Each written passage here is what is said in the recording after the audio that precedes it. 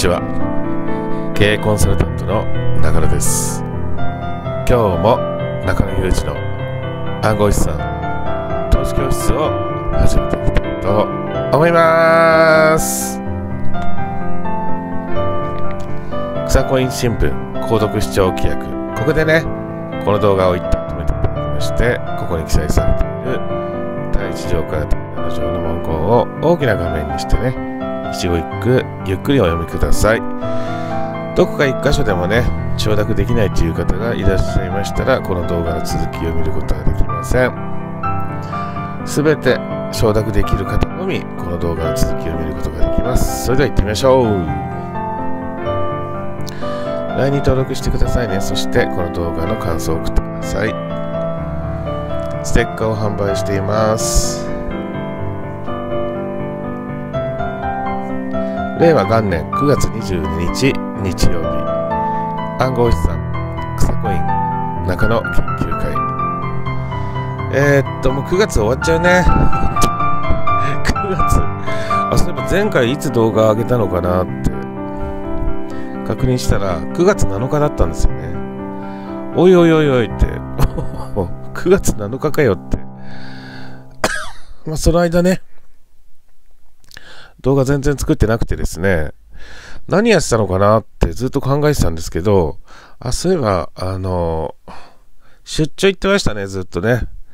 出張ずっと行ってて、まあ、ほとんど松戸には、えー、千葉県松戸市にはいなかったですね。ほとんどいなくて、えー、日本全国ね、また回ってました。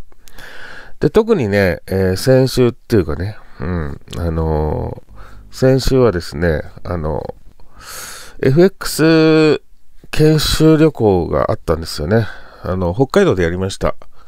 北海道の、まあ、千歳と札幌でね、えー、やって2泊3日のですね、FX、えー、まあ、集中合宿研修旅行だったんですけど、まあ、FX ね、あんまりできなくて遊んでばっかり 観光と、えー、食べ、オータムフェ、オータムフェストやってたんでね、あの、大通公園でね、あの、すすきのっていうかね、札幌のね。それで食べてばっかりましたけどね。まあ非常にね、あの、楽しかったですね。えー、女子5人、あと男の人もね、来てね。えー、そして、まあ遠くはニューヨークから来てくれて、あと広島県とかね、来てくれてね。まあ、あともちろん北海道の人がね、たくさん集まってくれてね。まあ、北海道家近いんだけど、まあ、一緒にね、ホテル、えー、宿泊していただいて、まあ、あの、まあ、中学とか高校生の 頃のですね、修学旅行ですね、枕投げしたりね、修学旅行の時によく似てましてですね、えー、非常に、えー、楽しかったなと思っております。あと、あの、まあ、支笏湖とかね、あの、まあ、近場ですけれども、えー、あと酒造メーカー行ったりね、お酒を作ってるとこ行ったり、えー、札幌でもね、まあ、オータムフェスト観光して食べたりね、いろんなとこね、あのー、時間を作って行ってですね、あと夜はもちろん、飲み会とカラオケということでね、朝から晩までね、忙しくしました。そして、まあもちろんあとは、まあ、パソコンはね、持ってこなかったので、スマホでね、FX、まあ、中値トレードとかね、えー、やったんですけど、まあ、ほとんどは人生相談の話をしたりね、みんなでね、車の中とかね、えー、食べながらね。それで、まあ、それぞれのね、あの、今の近況状況、まあ、仮想通貨の投資状況、そして FX のね、まあ、投資状況などをお話し合って、まあ、傷の波を したわけじゃないんだけど、あの、うん、そうだったんですかと。で、私の場合はこうでしたよという話をね、しました。で、そんな中ね、札幌に住んでいる男の人で、まあ、今回来れなかったんですけど、前回ね、札幌の飲み会で来た人が、えー、っと、まあ、今回来る予定だったんだけど、まあ、仕事で来れなかったと。ただね、LINE を送ってくれてね、あのその後ですね、あの、私の、まあ、FX トレードの、まあ、ルールを、まあ、忠実に守ってね、やった、やってたら、えー、まあ、資金がね20、20倍になりましたと。20倍になったというね、あの、結果がね、LINE で届いたんですよね。で、まあ、あの、その、やり方ね、やり方はこうですっていうのも、えー、LINE 何通にもわたってね、細かく長文を送ってくれてですね、まあ、それを見てですね、あのー、私は本当にこう、嬉しくなっちゃってね。で、まあ、あの、北海道から一度、北海道研修旅行の時にね、一度だけ、えー、一般公開ライブをね、えー、iPhone からやったわけでございます。で、その次の日もやろうとしたんだけど、まあ、とにかく、ほら、毎、毎晩、えー、美味しいね、北の幸を食べて、あの、魚とかね、うん、あの、あと何？まあラ、ラム、ラムの、ラム肉とかね、美味しい食べ物食べてね、で、その後カラオケやってるから、だから、ちょっとね、えー、できなかったですね、一日しかね。ただ非常に嬉しくて、で、その男の方がね、あの、来てくれたら、まあ、具体的にね、え、資金を、まあ、短期間、2ヶ月で20倍になったんですよね。2ヶ月ぐらいだったと思います。で、年内にね、あのー、あと5倍。だから、まあ、最初、20倍にしたでしょ？で、こっから、あと5倍にすると。まあ、3ヶ月あるからね、今年はね。だから、2ヶ月で20倍になって、5ヶ月、あ、3ヶ月で5倍なんて簡単じゃないですか。だから、まあ、トータル100倍にすると、年内にね。まあ、あのその目標を今立てて、あの戦略も今練ってますということだったんでね、まあ、その方の話をね、直接聞きたかったんですけど、まあ、それはお預けということで、次回にね、まあ、そうということになりました。で、本日のお題なんですけども、えー、ビットコイン先物とビットコイン ETF の承認で300万円オーバーのテクニカルが、テクニカルチャート分析ですね。が出ていますよっていう話をしようと思います。まあ、ビットコイン ETF の承認っていうのは次回は10月ですよね。で、9月もう終わりなんで、10月差し掛かってきてるんで、あの、ビットコイン ETF が承認されるされないにかかわらず、期待上げっていうのはされますよね。いつも期待上げされてるんで。だから、まあ、今日買えばね、あのー、必ず儲かることは分かってるんですよ。あと、ビットコイン先物もね、えー、承認がされる予定なんですよね。で、その話をします。えー、でね、えー、で、その前にですね、話をする前に、この動画のタイトル曲あるでしょ？で、このタイトル曲、すごくいいので、えー、ちょっとどこにあるのか教えてほしいということが、まあ、あの前から言われてたんですよね、いろんな方からね。で、前の、前の曲あるじゃないですか。タンタンタンタンタンタンタンって。あの曲もどこにあるのかって。あの曲はね、ちょっとわかんなくなっちゃったんだけど、このアマチュアの音楽工房、ちょっと「お」がついちゃってるけど、アマチュアの音楽工房にあることは確かなんですよね。ここからちょっと、あの、無料でね、貸してもらってるんですけど、まあ、それのね、赤毛のアン、喜びの白い道、ピアノソロ、ほのぼのした曲ということで、えどういうことかということなんですけど、まずね、あのこれ Google、Google なんですけど、ここでね、アマチュアの音楽工房って入れるんですよ。アマチャ楽工房と。こうやって、ここにね、アマチュアの音楽工房って入れるんですよ。そうすると、フリー、無料の BGM 素材、音楽素材、アマチュアの音楽工房って出てきますよね。で、こうします。で、ここでですね、まあ、ここで検索できるんだけど、ここでは入れないでですね、えっ、ー、と、これはね、ピアノソロ、ほのぼのっていう分類されてるんですよね。で、ここでさ、イメージから音楽素材を探すってことで、これほのぼのってあるでしょ ?1、2、3、4段目に。で、これほのぼの押すんですよ。ほのぼの押すと、ほのぼのの曲が出てくるんですけど、結構いっぱいあって、6番目まであるんです。6列目まであるんですよね。で、この中の5列目ですから。5列目の、赤毛なんて2つあるんだけど、えー、上から1、2、3ですね。5列目の、5で、5列目のですね、上から1、2、3、赤毛の案、喜びの白い道。えー、赤毛の案、喜びの白い道ね。で、これ主張、主張すると、流れてるでしょ？ちょっと聞こえないもんですから。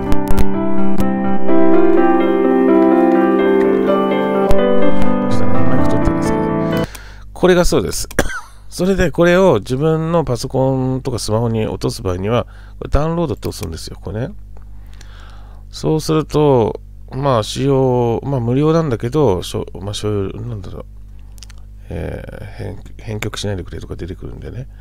で、これダウンロードっていうのをこう押しますと。そうするとこうなるから、ここここにね、ダウンロード出てくる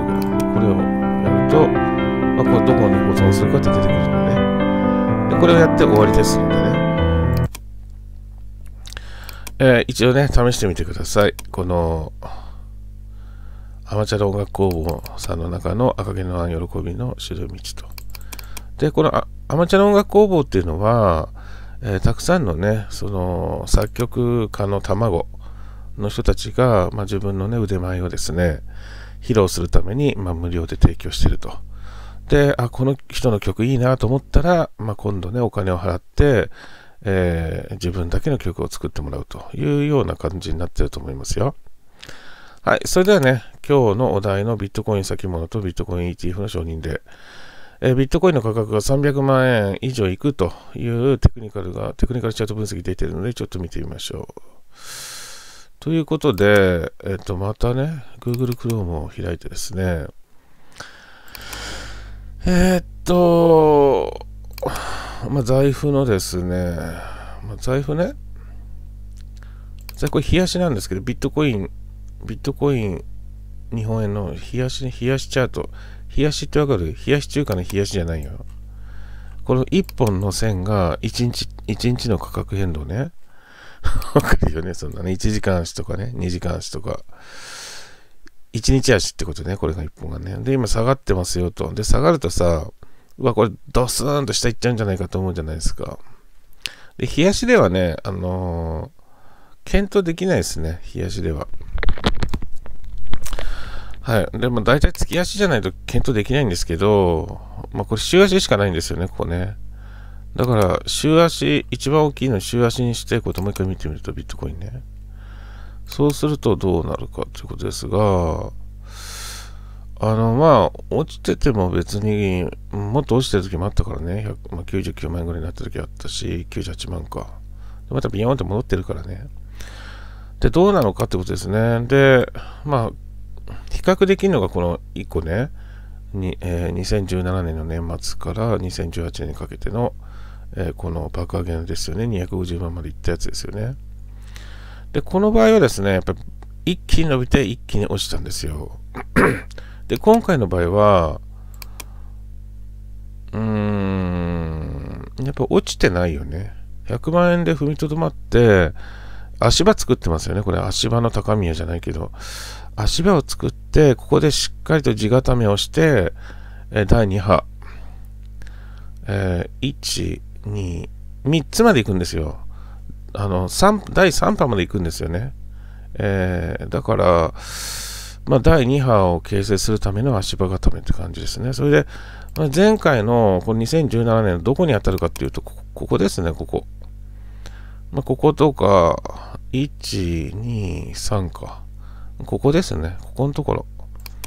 うん。で、ここってこんなちっちゃい山じゃないかって思うかもしれないけど、この山に比べたらちっちゃいけど、その時になると、こんなすごいんだよね。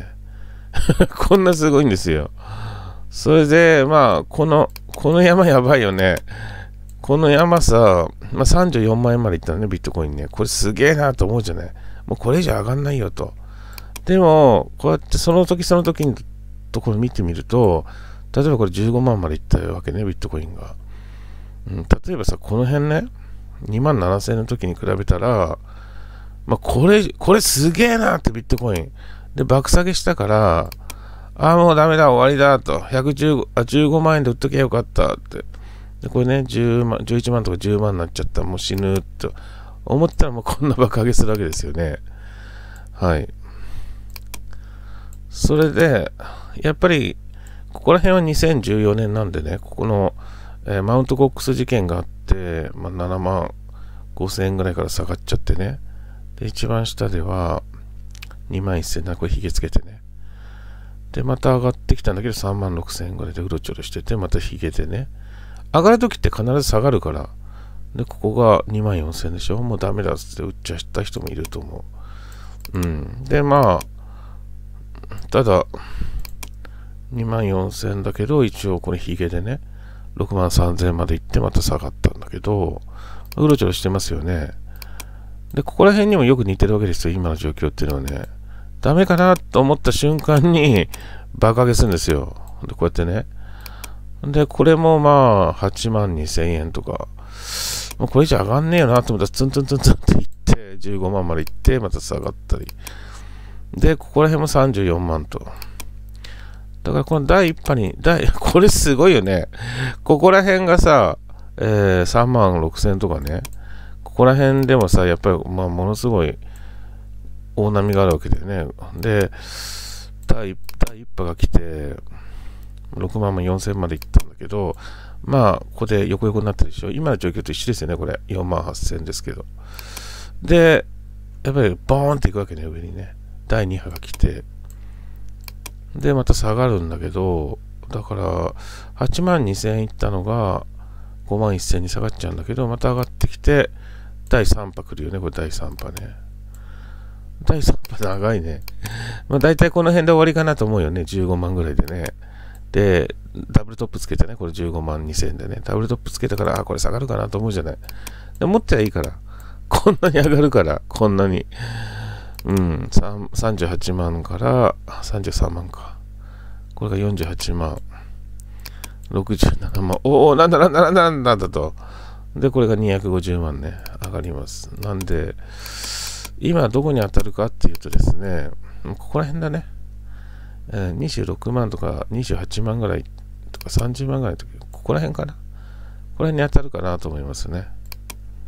うん。で、まあ下がって、上がるときって必ず下がっちゃうから。で、バーンと上がるんでね。で、ここも一回すっごい下がるでしょ。これが56万までいったのが、一気に30万まで下がっちゃうから、だいたい半額になって、一気にバク、爆上げするんだよね。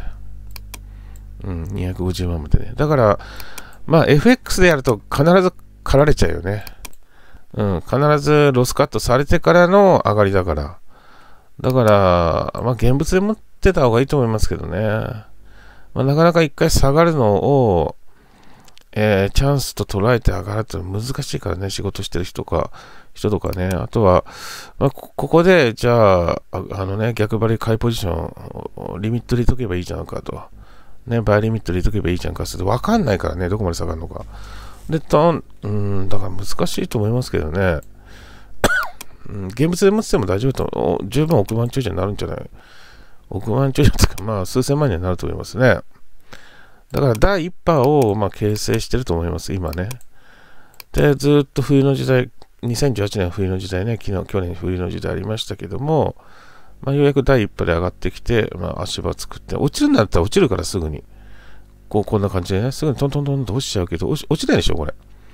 で、ペナントフラッグを作って、えー、下根、底根っていうのかな？下根、えー、一律の、底根つらい位置の高値切り下げでしょ。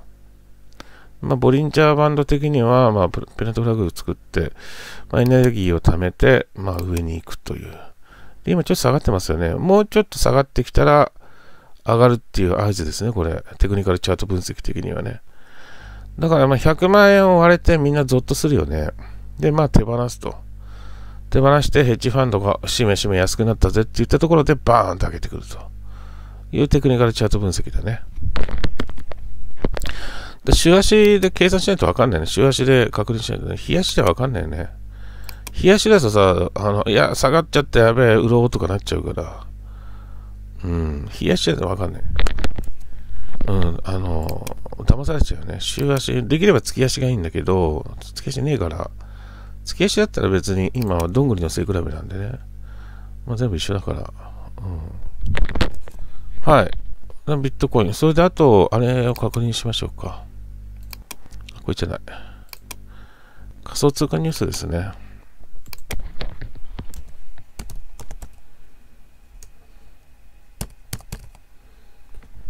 仮想通貨ニュースをちょっと見ます。そうすると、まあ、これですね。嵐の前の静けさ、来週のバック、とのビットコインですね。これですね。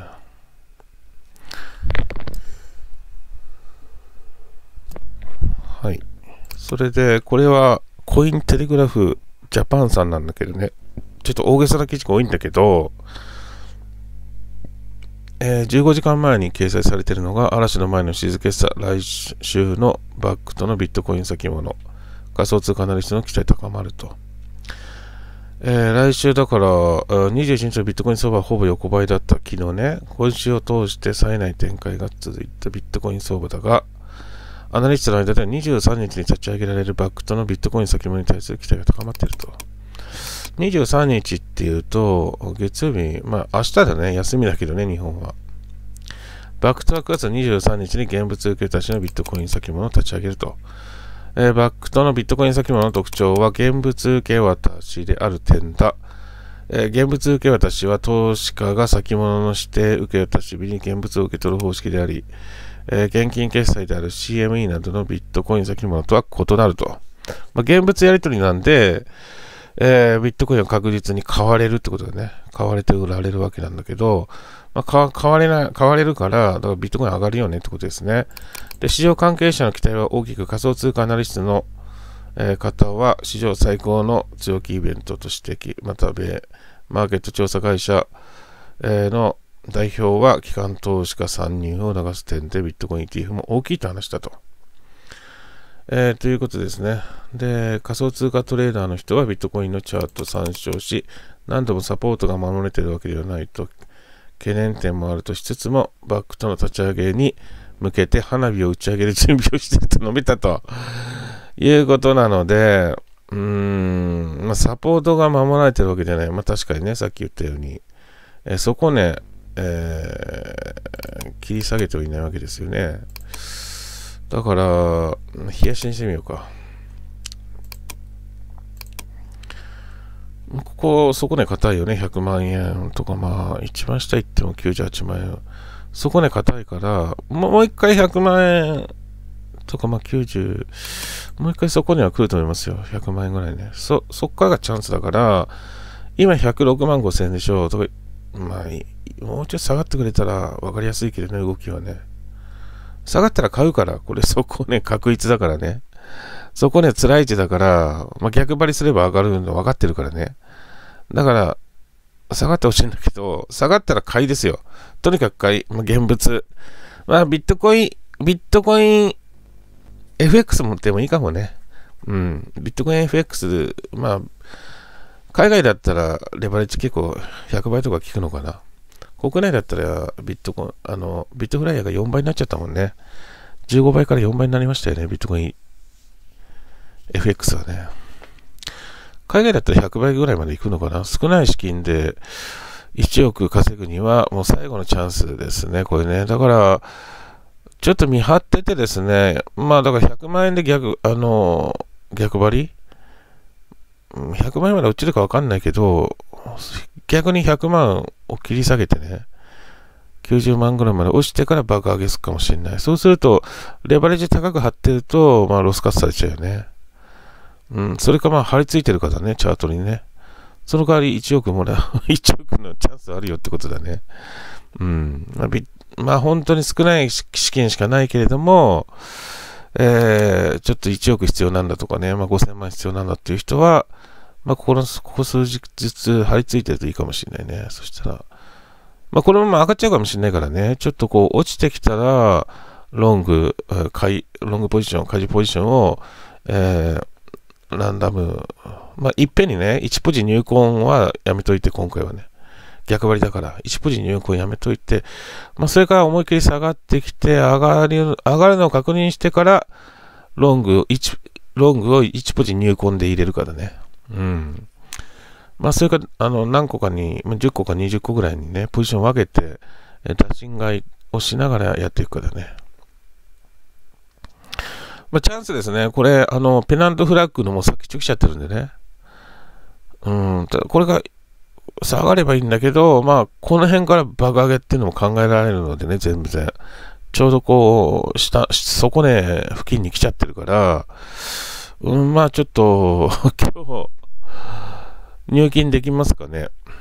あの、ビットフライヤーとかね、ビットバンクとかね、ビットポイントジャパンとかに現金円を、現金を入金してね、ビットコイン買わないと、まあ、最大のチャンス、爆上げのね、花火、花火打ち上げのチャンスをね、また逃しちゃうかなと思います。だから中野研究会の皆様におかれましては、えー、ビットコインね、年末にかけて、えー、また一財産作るチャンスであるってことをお知らせしておきます。下がんない、これね。下がってもまあ90、90万ぐらいまでしか下がんないから、まあ今買っても別に、まあ下がっても上がるからね。うん、だからまあ難品、難品をしていく感じかな。さまだ下が、下がったらラッキーだけど、下がんないで上がっていっちゃう時あるから余裕で。その時も悔しいよね。だから今から買うしかないよね。こんだけ下がってくれてるからね。うん、そんな感じですね。あとはまあビットコイン ETF がまあ承認される可能性がまたあるからね。で、ビットコイン ETF はね、承認されるされないにかかわらずね、期待上げされるから、期待上げ。うん。期待上げされるので、これ全部そうだよ。これ全部、全部期待上げ。ビットコイン ETF 承認されるかも上がってされないして下がっただけですよ。これ。これもね、これもそうですよ。で、全部、全部そうだから、2017、これ2017年の年末もビットコイン ETF 承認されるっつって上がって、ダメだっつって下がって、されるっつ、ここか、されるっつって、これんか、されるっつってさされないと。で、ETF 承認されない。される、されない、される、されないでもね。から絶対にね、期待上げされるんで、あの今買っても損はないよね。絶対、ほとんど損がないので、まあ僕はもちろん買いますよ、ビットコインをね。仕込んで、期待上げされるんで、えー、っと、まあ、すぐにドカンって下がらないから、ゆっくり下がってくるからね、あのビットコイン ETF 承認されなければ。でゆ,、まあ、ゆっくり売れればいいだけなんですよ。で、万が一承認されたら、もう、300万どころじゃないよね、800万とかね。だから、どのみち買っといて 損はないんだよね、今の時期ね。で、ここまで下がってくれてるから106万までね。まあ、できればまあ100万、100万と99万とかね、98万。絶対に上がるから、今までのね、逆張り手法だからね、ここは。レンジだから、ただの。あの、ペナントフラッグレンジの中に入っちゃってるから、あの、逆張りですよね。そうすると上がるんで。で、これ、もう、ね、先っちょに入ってるんで、まあ、できればビットコイン FX の方がいいよね。海外だったら100倍ぐらい使えるかな。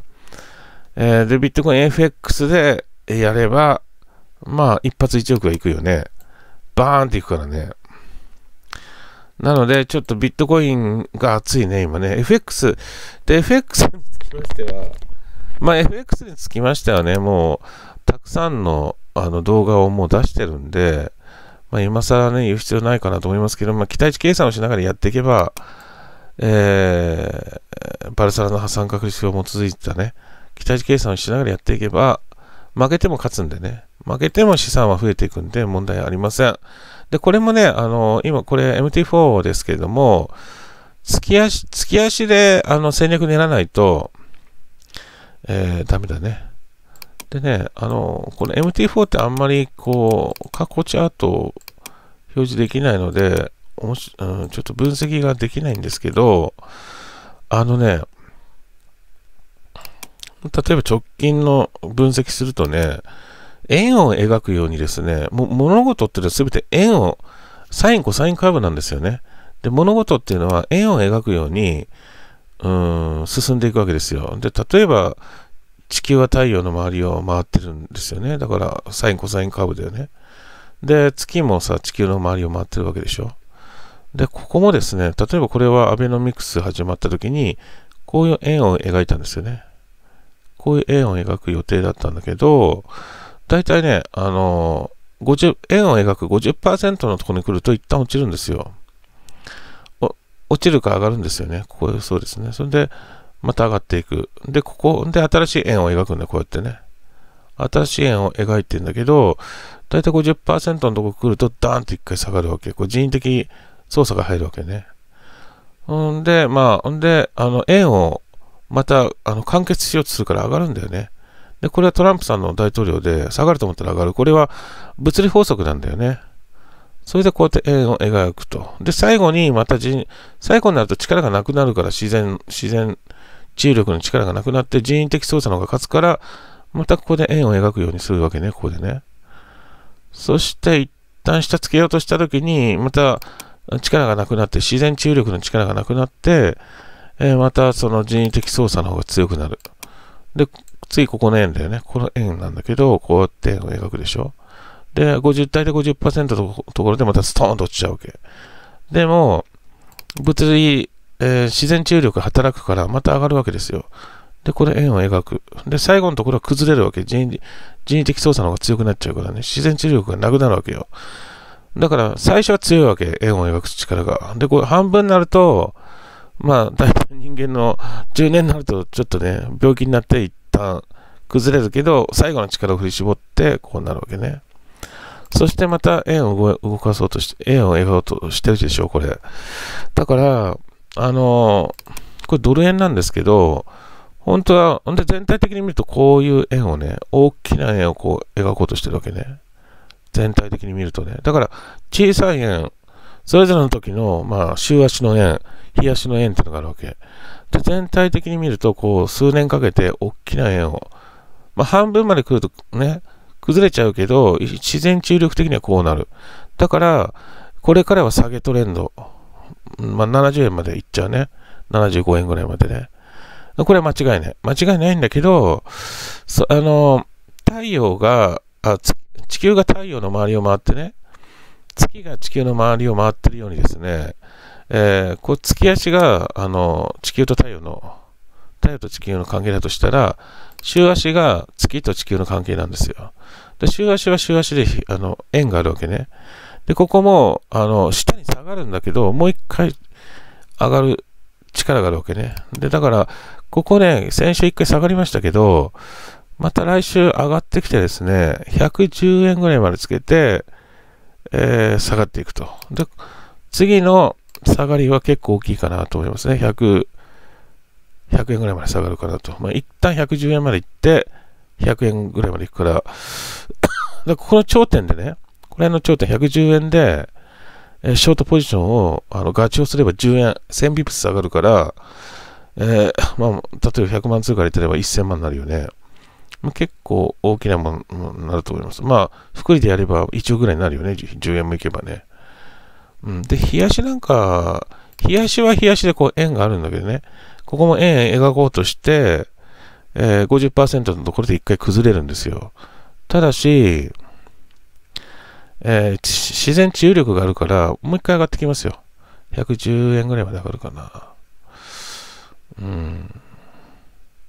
ここも逆円を描こうとしたんだよね、これね。で、これ完、これ完成だね、逆円はね。で、これサイン、コサインカーブですね、これね。はい。だから、まあ、4時間足ですけどね、これはこういう円を描こうとしてるわけね、今ね。うん、で、まあ、大体50%過ぎぐらいから崩れてくんだけど、自然治癒力があるからまた戻るから。うん。まあ、そんな感じかな。だから、あ、これ下がってるから、例えばね、明日の月曜日の朝、これが下がるかって言ったら、まあ、一旦上行くでしょうね、これね。グイグイグイグイってね。と思ってますがね。まあ、ただ何があるかわかんないんでね。で、まあ、1時間足なんていうのは、その、円を描いてるかどうかなんかわかんないから、まあ、大体8時間足がいいんだけど、まあ、MTF はないからね、8時間足、4時間足で検討して。まあ、大体月足、週足で、まあ、全体、まあ、月足しかもうないんだけどね。全体的なその、物理法則の、え大自然の自然治癒力ね、円を描くように、まあ、全て一緒ですよ。人間のビジネスとか、スポーツとかも全て円を描くと、自然にですね、力が発揮されるわけですね。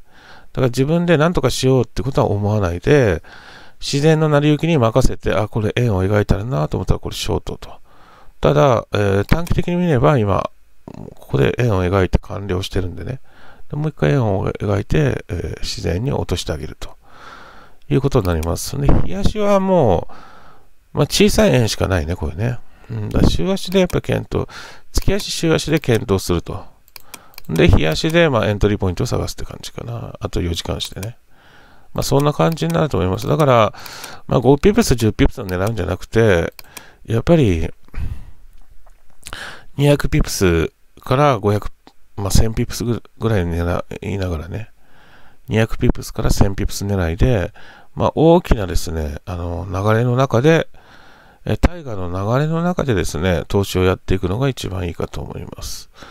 で、ビもちろんだからビ、それもね、ビットコインも同じだから、えー、まあ、これ、冷やしでは、なんとも、冷やしは検討できないから、週は、本当は月足がいいんだけど、ないからさ。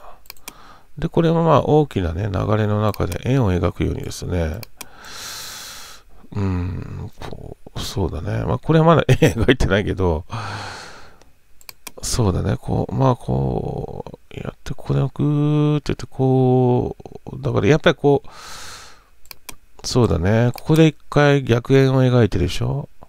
で、ここで、あの、サインカーブでこう、グーってきたでしょ？で、ちょっと下がってからやっぱり上がっていくよね。完全に上がっていきますね、これね。で、ここも、ゆっくり大きな円を描いて、まあちょっとね、上行き過ぎたんだけど、ゆっくりこう円を描いて、ここら辺でトレンド転換して、スーってやってんで、またトレンド転換して、スーっていって、で、これトレンド転換して、またスーっていく感じかな。だから、あとちょっと落ちればね、100万円か90、スー、こうってきて、スー、まあそうだな、90万円ぐらいまで落ちたらいいんだよね。そしたら上がるからね。今買っても、まあ、16万円下がるぐらいだからね。90万、90万円まで下がったら思いっきり上がるよね。500万とかね。そうだね。ちょっと待って。こうだろう ?200 万ぐらいかな ?1 回はね。で、1回下がってまた上がっていくって感じかな。200万、そうだな。ちょっと待って。こうだろう。こう。そうだね、220万ぐらいかな、上がりますね。まあ、ただこういうね、ちょっとイレギュラーなこういうのあるから、多分300万ぐらいまで上がると思います。うん、300万まで上がって、まあ一旦220万ぐらいまで下がっちゃうかな。200万ぐらいまでいって下がるかな。なので、まあ300万いったら、まあ必ずね、利確しないとまた大泣きしちゃうことになるから、気をつけてくださいということになります。はい、そうですね。月足で分析するのが一番だと思います。月足。月足の円と週足の円。月足がま太陽と地球の関係。週足が、えー、地球と太あ地球と月の関係ですね。日足はもう、検討で分析できないですね。日足でトレードしてもしょうがないから、こんなの。うん、やられちゃうから。月足でやんないとね。そうすると、まあ、月足で、まあ、月足、週足で検討して、日足でエントリーポイント。日足と4時間足でエントリーポイントを探すってことになるかな。はい、方向性は、方向感は月足と週足ですね。うん。で、エントリーポイントは日足と4時間足。で、その他はもう見ちゃダメだから、こんなの。見見るから負けるんだよ。1時間足とかさ、30分足とか。ましてや15分とかね、5分足とか、1分足なんか見てもしょうがないから、こんなの。しょうがないから、こんなの。だから負けちゃうんですよ。右往左往してね、土点繰り返したり、難品したりね。もっと大きな大河の流れで、えー、やればですね、負けることはないですね。そして、まあ、1000ピプス、2000ピプス狙いでね、大きな流れでやっていけば、もう自然とですね、あの、で、利益出るからね、で、証拠金増えるから、どんどんどんどんこう、資金をね、増やしてえー、ポジション増やしていきます。そうすると、複利で増えていくんでね。えー、おしめ買いとかね、戻り売りの時にポジションをどんどん増やしていくと。その、おしめとか、戻りっていうのは、まあ、冷やしとか4時間足を見て、えー、あ、おしめだな、戻りだなと思ったら、追加ポジションを取っていきます。そうすると、まあ、まあ、1000ピプスだったら普通100万通貨かけてたら1000万しかなんないけど、まあ、追加ポジション取るから1億ぐらいになるよね、やっぱね。うん。まあ、そんな感じでね、やっていかれたらいかがでしょうか。まあ、中野研究会の皆さんにはもう伝えてるんだけどね。なかなかね、あのー、まあ、タイガーの対局を見なくちゃいけない。まあ、森を見ないとね。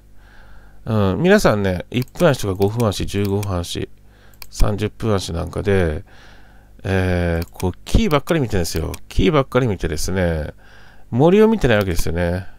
で、僕なんかっていうのはもう月足しか見ないから、えー、森以上ですよね。森以上の、まあ、宇宙全体っていうか、まあ、太陽系全体を見てるわけですね。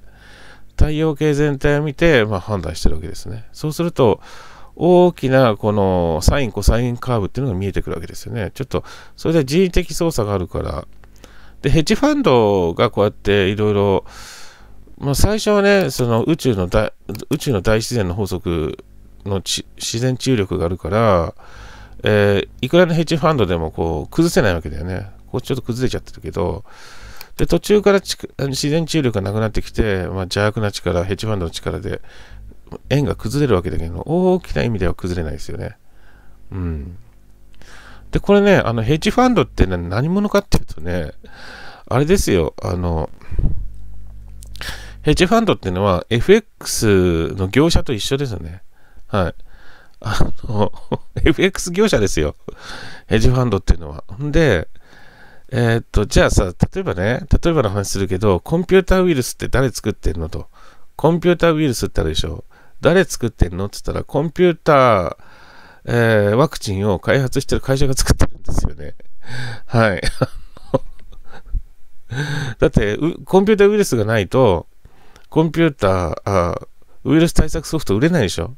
だから、せあの、風邪薬って誰作ってるの？って言ったら、あ、風邪ってね、あの、風邪、風邪、インフルエンザウイルスとかさ、誰、どっから出てくるの？って言ったら、製薬メーカーが作ってるんだよね。うん。だから戦争の相手のね、武器って誰作ってるの？って言ったら、あの、こっちの、あの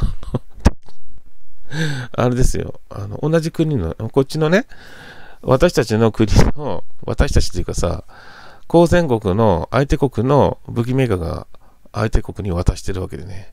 まあ、むちゃくちゃですよ。うん。で、ヘッジファンドって誰？っつったら、FX 会社ですから。で、あの、FX をやってもらってるお客さんの資金を溶かさないといけないから、ヘッジファンドがいるわけですよ。そう考えると、そう考えると、じゃあどういうふうな戦略を取れば勝てるのかなっていうのが見えてきますからね。はい。ということでね、今日は、ビットコイン、さっきも言ったビットコイン ETF の承認で300万オーバー。まあ、期待上げってのもあるからね、これは上がるよね、絶対にね。